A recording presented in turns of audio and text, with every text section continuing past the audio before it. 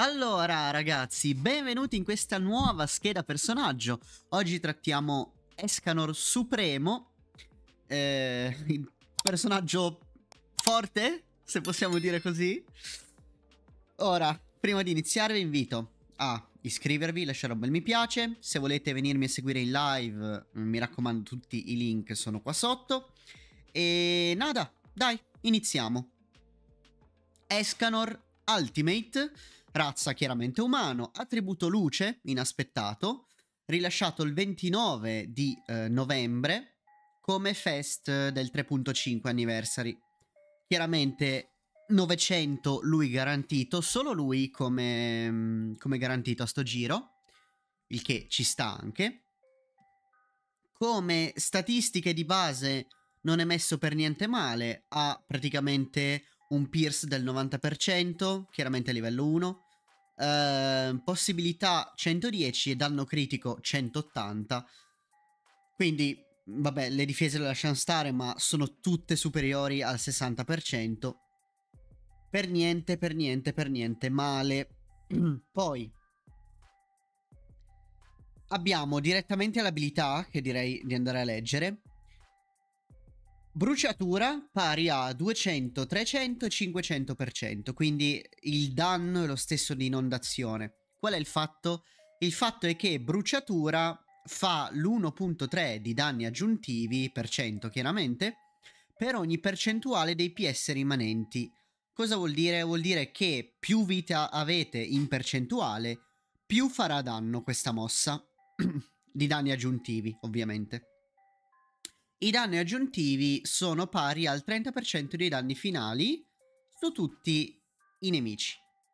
Quindi, cosa succede? Succede che voi andrete a fare un single target, ma eh, la seconda ondata che arriva, perché si è diviso praticamente in, in due parti, la seconda ondata sarà AOE, il secondo colpo sarà AOE.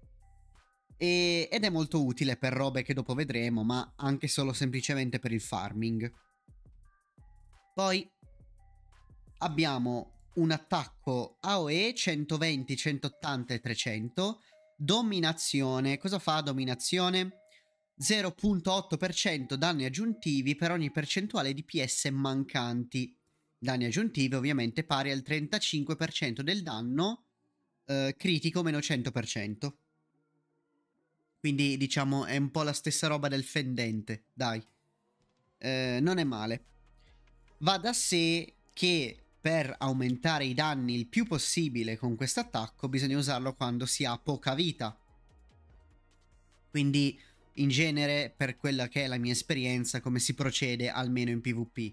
Si va ad utilizzare il single target e poi successivamente se si viene, se viene rimossa una quantità di vita ingente, diciamo, quindi superiore magari al 60%, quindi si rimane col 40% di vita o meno, si va a usare questo attacco e fa un sacco male. Ma lo vediamo dopo. Poi abbiamo la ulti.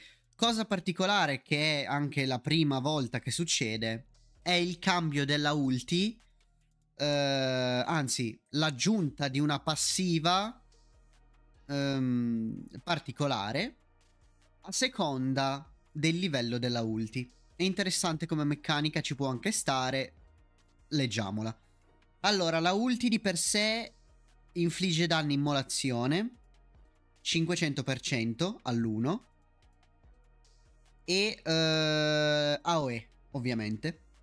Immolazione non è nient'altro che lo 0.2% di danni aggiuntivi per ogni percentuale dei PS rimanenti dell'eroe e 0.2% sempre di danni aggiuntivi per ogni percentuale dei PS ridotti. Quindi sia che abbiate eh, diciamo PS alti o bassi avrete comunque uno 0.2 di eh, danni aggiuntivi, diciamo credo che sia praticamente un 100% alla fine, calcolato sul 100% perché calcola i PS rimanenti e quelli che mancano, il totale è un 100%, uh, eh, quindi diciamo di sì. Poi la parte che vi dicevo che cambia è questa. Quando l'eroe muore, questa fa parte, è una passiva della ulti che va praticamente ad aggiungersi alla vostra passiva che leggiamo dopo. Quando l'ero- l'eroe muore, rimuove tutti gli effetti, quindi avrete immunità, svuota completamente la barra mossa finale, poi applica un effetto fiamma definitiva. Ok? Cosa fa fiamma definitiva?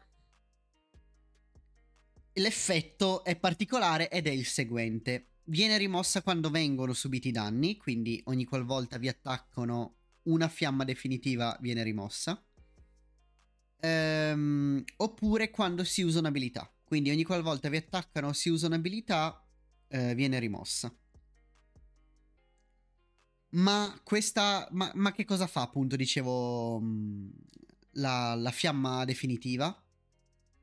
Praticamente i PS dell'eroe sono fissi a 1, rendendolo immune a tutti gli effetti. Che cosa vuol dire in soldoni? Vuol dire che ogni qualvolta uh, noi veniamo uccisi da un attacco, da un counter, qualsiasi cosa, la vita viene fissata a 1 e ci viene messa una fiammella sulla testa, ok? Se prendiamo altro danno o attacchiamo va via una fiammella Cosa cambia col livello della ulti le fiammelle che ci sono sulla testa di Escanor?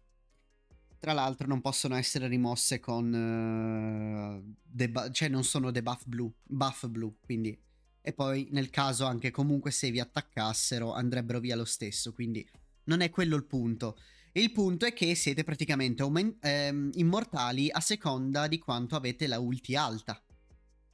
Eh, perché vi ricordo che l'attacco di prima AOE tra l'altro scala con i PS che vi mancano, quindi capite bene che se ve lo tenete per quando morite non è per niente male. Comunque sia, le fiammelle a livello della ulti cambiano con la ulti al 2, cioè avrete due fiammelle, al 4 ne avrete 3 e al, C- e al 6 ne avrete eh, 4.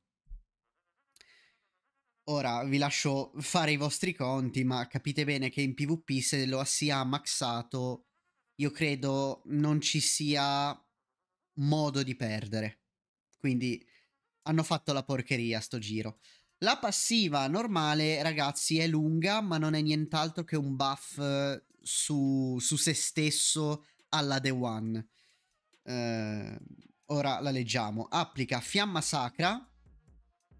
Che cosa fa Fiamma Sacra? Aumenta tutte le stat del 4% col passare di ogni turno per 5 turni quindi è un buff permanente praticamente, all'inizio della battaglia, quindi già questo è un grande aiuto. Poi aumenta del 15% i danni inflitti dall'eroe dopo aver usato un'abilità fino a 4 volte.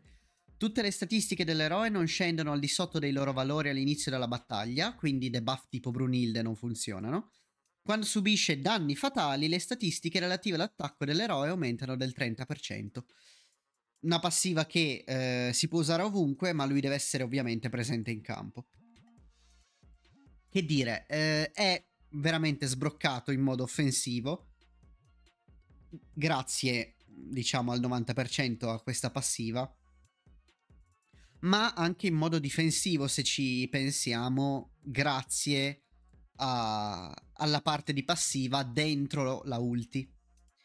Quindi questo è il personaggio in soldoni. Eh, è abbastanza rotto. Parliamo un attimo del, di dove usarlo, come usarlo, le stat, gli equip, eccetera. Allora, come vedete dalla tabella in basso a sinistra, chiaramente nuovo personaggio da CC, nuovo personaggio offensivo, non c'è letteralmente nessuno che eh, ha più potenza offensiva di lui in gioco ad oggi. Come equipaggiamento, anche qui dobbiamo parlarne un attimo. So che verrà una scheda un po' lunghetta, ma è particolare il discorso. In teoria non cambia molto da quello che vi dico sempre, quindi eh, se uno può permettersi di avere magari le, le armi di Escanor, tutte quante, ha senso farlo vita difesa, vita danno critico, sono molto intercambiabili. Qual è il fatto? È che in PvP soprattutto, mh, mm, nell'ultimo periodo, ma con questo personaggio ancora di più, se si parte per secondi si perde. a meno di non averlo maxato con la ulti alta, che allora ti dà più sopravvivenza. Ma se no si perde, ragazzi, non c'è un cazzo da fare. Quindi, piuttosto che farlo attacco critico, che adesso ne parliamo, fatelo vita difesa o vita danno critico, per prendere un po' di CC in più. Io vi consiglio quello. Ovviamente in PvE non ha senso questo discorso, quindi per farming, per boss, se lo volete usare nel piccione, mettete un attacco danno critico, che lo avete quasi sicuramente perché Escanor The One andava buildato così praticamente, quindi... Questi sono gli equip. Come valutazioni in modo generico e consigli vari, allora, demoni lo potete usare un po' dove volete perché tanto è attributo luce, quindi non ha restrizioni.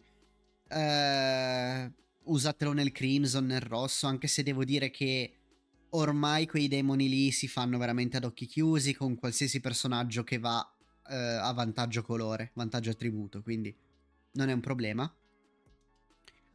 Valutazioni, PvP, SSS, chiaramente parliamo di personaggi maxati e con tutti i crismi, non si può battere, eh, poi ovvio che si può, ma nel senso è talmente forte se maxato che non c'è un escamotage vero e proprio se non di sigillargli l'attacco, però anche lì lo sigillate una volta, poi se lui eh, attiva le fiammelle del caso non lo potete nemmeno più sigillare perché ha l'immunità, quindi eh, è un problema. PvE si becca un SS comunque perché uh, è un ottimo personaggio. Non SSS forse perché non buffa il team e per il PvE solitamente è un'ottima cosa. Parlo di uh, piccione, uccello, eh, piccione e uccello sono lo stesso, piccione, cervo, eccetera. È ottimo anche in quei contenuti, ma secondo me ci andava un guizzo in più, magari non solo su se stesso, ma sul team. Ma è giusto che sia così perché è un personaggio cioè è Escanor, lo conosciamo, non buffa il team.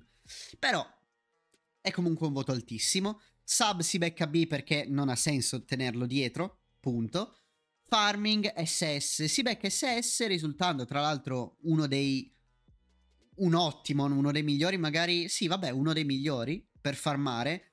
Uh, perché comunque lui è boostato un sacco grazie alla sua passiva e eh, il single target in realtà fa danno anche a OE, quindi per tutti quei contenuti dove eh, non ci sono nemici così resistenti, una OE bronzo va comunque a shottare tutto il team avversario.